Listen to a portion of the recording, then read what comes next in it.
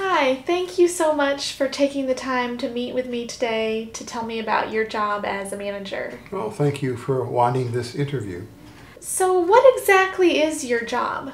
Well, I am a manager. Uh, my title is Adult Education Manager, and so I supervise the uh, English as a second language education of the students who come to our program.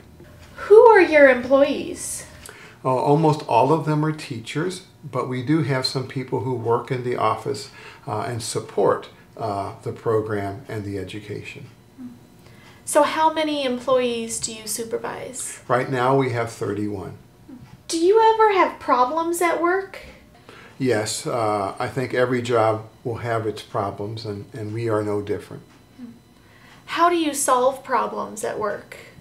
Well, it depends upon what the problem is, but usually I first of all think about it for a while uh, and see if I can come up with a solution of my own.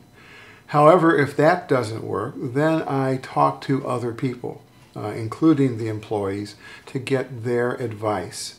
Finally, I make a decision uh, based upon the advice I have or the things that I have thought, and then the problem is solved.